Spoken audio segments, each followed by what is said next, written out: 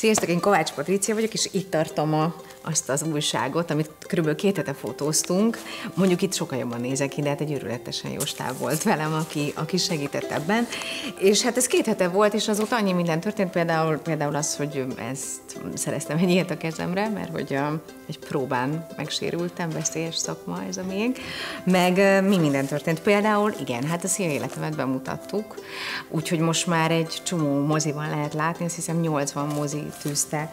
Nem véletlenül a műsorára, mert, mert én tényleg azt gondolom, hogy ez egy olyan film, amin nevetni lehet, meghatódni lehet, és mindenki azt mondja nekem, aki, aki látta ezt a filmet, hogy amikor kijön a moziból, akkor olyan jó érzéssel van tele, és, és azt gondolom, hogy szükségünk van ilyen jó érzésekre, és szükségünk van jó színészekre, meg nevetni, meg meghatódni, és én azt gondolom, hogy az életemből ezt így, ezt így mind, mind megkaphatjátok. Úgyhogy uh, irány a mozi, meg, meg olvassatok meg lapját.